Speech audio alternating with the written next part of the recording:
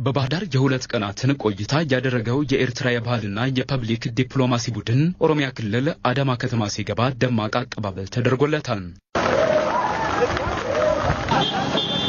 በአቀባበል ስነ ስርዓቱ በተገኙ የከተማው ነዋሪዎችና ባለስልጣናት ታጅበው ወደ ገልማ አባገዳ የስብሰባ አዳራሽ ያመራው ቡድኑ የባህልና ዘመናዊ የሙዚቃ ትርኢቶቹን አቅርበዋል።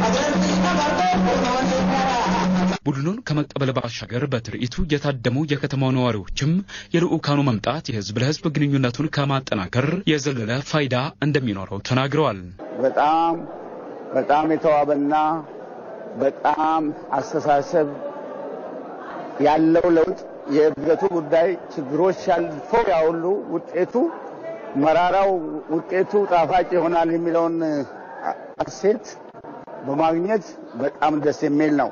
ሁለት ቦታ የነበርነው ህዝብ ተመልሰን አብረን ዛሬ እንዲህ ስንዝናና፣ ስንጫወት፣ ስንጨፍር አንድነታችንን በጭፈራ ስንገልጽ በጣም ያሌለ ደስታን የተሰማኝ። የቡድኑ ወደ ኢትዮጵያ የመምጣት ዓላማ የጦርነት ዘመን አብቅቶ ሰላማዊ ግንኙነት መጀመሩን ለማብሰር ነው ያሉት የቡድኑ መሪ አቶ ሚካኤል ተፈሪም ትርኢቱ ግንኙነቱን ይበልጥ ለማጠናከር እንደሚያግዝ ተናግረዋል።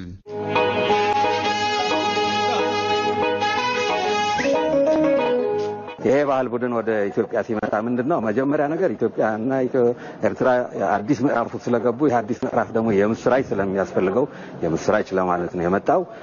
ከዚህም በተጨማሪ ደግሞ በኢትዮጵያ ሕዝብ መካከል ሆኖ ይህንን ለማክበር ነው የመጣው ማለት ነው።